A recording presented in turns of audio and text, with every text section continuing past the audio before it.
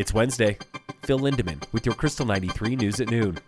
Two livestock groups are suing Colorado Parks and Wildlife on the eve of wolf reintroduction. Denver Post reports that lawsuit was filed just this week in federal district court. It accuses the state of fast tracking reintroduction and it means to halt it. A voter approved deadline says new wolves must be here by the end of this year. A new poll shows most people in Colorado think the housing market will get worse before it levels out. The two most important topics we hope lawmakers will tackle the cost of living and public safety. That bipartisan poll came from the Colorado Polling Institute. Real estate professionals, meanwhile, they're preaching patience with a market that just keeps going up. High country homes in November were selling for 5 to 10% more than they were last year, but they were selling slower. So, what's the real reason behind a possible fee raise for parking at Frisco Bay Marina? That was the topic at yesterday's council meeting, where longtime slip holder Alita Ford had this to say. If it's really not a money issue, because that's what people think, it's a money issue that you guys are doing a money grab. Parking contractor Interstate wants to raise rates next summer by 50 cents every half hour most days of the week. They say it would open more spaces.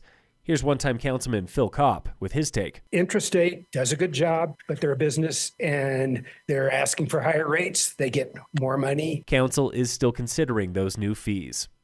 Colorado and the feds want a new passenger rail line connecting Denver to Steamboat Springs, Hayden, and eventually Craig. Our local state senator Dylan Roberts says it could be done in five years. Vail Daily reports a federal grant will be helping the state expand its Front Range rail system, with plans to extend the existing Winter Park line north to those other three. Authorities in El Paso County suspect murder suicide after four people were found shot dead in a home in the tiny town of Peyton. Two victims are a husband and wife. The other two are the couple's son and a 30 year old woman. A fifth unidentified man was found inside with injuries. He is currently recovering. Avalanche danger today is stabilizing in Summit County and the Vail area. It is moderate at every elevation. In sports, the Nuggets beat the Bulls last night 114 to 106. Tonight the Avalanche play the Sabres at 7:30 on TNT. And in local sports, brought to you by Cassandra Schultz and Associates with American Family in Dillon.